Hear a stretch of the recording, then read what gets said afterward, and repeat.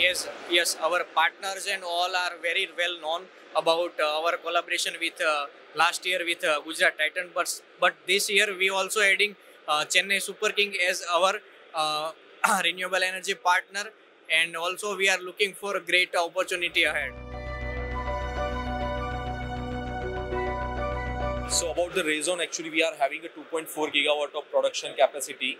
Uh, this 2.4 gigawatt is including a multi-bus bar uh, quality, which is uh, up to 550 watt peak. And uh, recently we have launched a TopCon bifacial module. Uh, it is up to 585 watt peak, and yeah, definitely proudly say that we already get the BIS certificate for this TopCon module.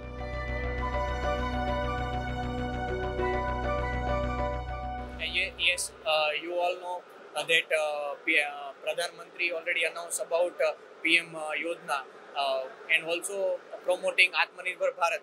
So, being an Indian manufacturer company, we are also looking for great opportunity for indigenous our solar market, and also we are uh, continuous expand uh, expanding our production capacity and also supporting our uh, distributor and partners for the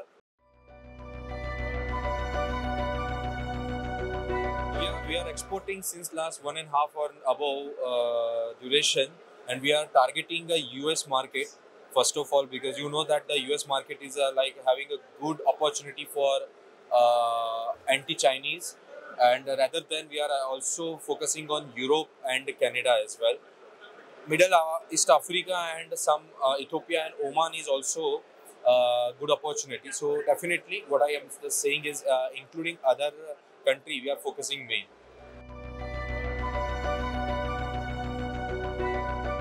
About the future plan, apart of 2.4 gi- uh, 2.4 gigawatt of plant capacity, we are going to add uh, 1.5 gigawatt of TopCon.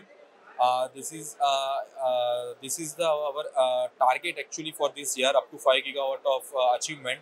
And after that, yeah, definitely we are also upcoming coming with the USA uh, one gigawatt of production line as, as a market opportunity in the USA is also bigger than India actually. So this is the our target for this year.